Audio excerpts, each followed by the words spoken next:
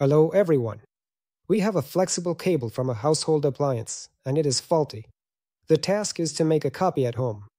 The cable is not simple, it has conductive polygons, and this needs to be taken into account. We take a piece of thin foil-clad fiberglass and cut it to the size of the cable.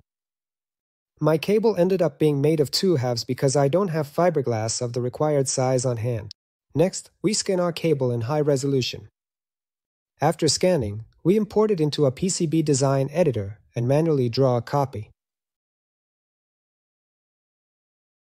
The board template is ready. We print it on a laser printer using thermal transfer paper. Next, we transfer the board from the paper to the fiberglass using a laminator. Great. Just a little more to do. Etching.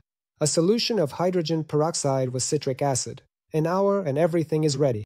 I made the second half in the same way and soldered it to the first.